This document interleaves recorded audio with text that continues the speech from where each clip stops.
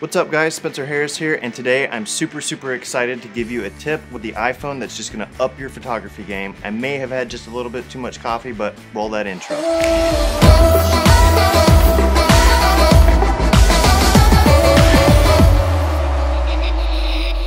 Okay, so today we're talking long exposure photography, and I just want to go over a few basic principles of long exposure photography before we start getting into how to capture it on your phone. Yeah, I said it, on your phone. What's in your pocket, you can do it. You don't need a DSLR anymore.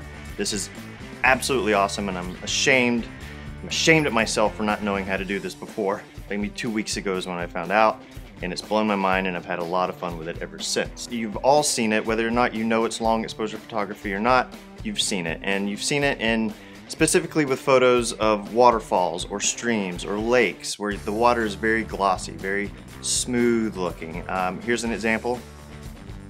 And that's what I'm talking about. It's, it's just this glossy, dreamy looking water that you get out of long exposure photography. Same thing with maybe you've seen city shots or cars or on a freeway or something like that and the lights seem to look like lasers or, or streams themselves. And and it's just a really, really cool stylistic way of shooting photography that I personally love and it's a lot of fun shooting and the payoff for it is just, it's awesome. We're gonna talk about how to do that today with an iPhone. Long exposure is basically controlling your shutter speed and how slow it opens and closes to capture the frame that you wanted to capture. Very quick shutter speed is gonna basically freeze time and, and no motion blur or nothing like that if someone's jumping in the air you want to have a very, very high shutter speed. That way they're just kind of frozen in that moment. Well, if you go all the way at the other end of the spectrum and make that shutter speed extremely slow, let's say a fifth of a second or longer, your shutter basically opening that slow or even slower.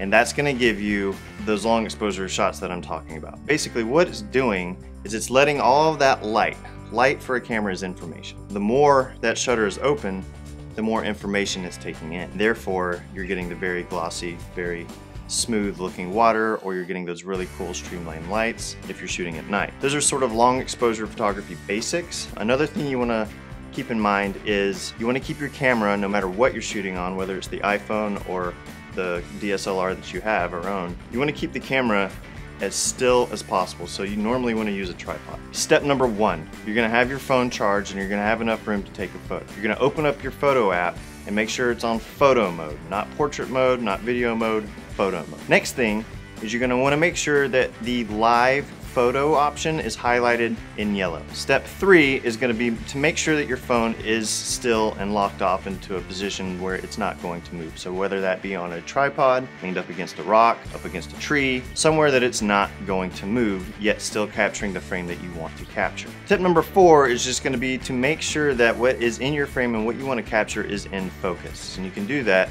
by the little squares that are in the frame of the phone hold that down, lock your focus, and then you're gonna see a little sun right beside that. You can move that up to, to control the exposure or the light coming into the phone camera. And now the exciting stuff happens. So go ahead, once you're all set up, press that button, take the photo, and you're done. You're done. There's just one more step to do and, and you've gotten it. You can achieve these types of photos just by following those four steps. So let's get into the fun part, shall we? Open up your photo album, go to that photo that you just took, for me, I went out to a waterfall nearby and tested this out and my God, it is awesome. So here's that photo. It was taken in live. You can tell because it's gonna say live right up here. Okay. Now, you're just gonna hold that down, make sure it was a live photo. Click up, and then you have these options right here. You're just gonna scroll over the long exposure it's gonna work for a second and then there you go. There you have it, a long exposure waterfall. Oh my God. I, I never knew that you could do this with a phone. It, it's blown my mind and I can tell you anytime I'm near water, I'm gonna be shooting this. I mean, it's just, what? How did I not know this? I mean, maybe you knew it. Maybe I'm way, way, way, way, way behind on the curve on this one. I'm not sure, but I just found this out and I can't, I, I, just, I had to share it. It's that easy, guys. That's all you have to do. Long exposure photography on your iPhone. Just go out, just, just, just, I don't even know. Just let me know if you knew about this, if you didn't know about this, I want to hear about it and I definitely want to see your photos. So link your Instagrams below. I'll check them out. I'll follow you. This is just, it's awesome. And I can't wait to see what you guys come up with. And that's it. It's, it's that easy. It's, it's just four steps and you've got amazing photos for your Instagram feed, whatever you want. It's just my gift to you. Like I said, maybe I'm just completely behind on this, but I've spoken to a few people that were just like, what, what, what, what? And there you have it. Thank you for watching. Subscribe, like, comment. Let me know if this helped you at all. I would love to see your photos, and uh, that's going to be it this week, guys. And the creator I want to highlight this week is a guy named Cody Wanner, and he has just been such an inspiration to me and to a lot of people that I know, and his channel is just absolutely insane. He's doing great, great, great things for the creator community, and he's got a movement called No Small Creator.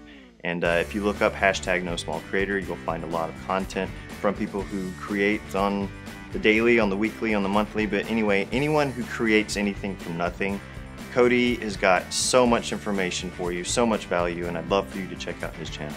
And, uh, and there we go. We'll see you on the next one.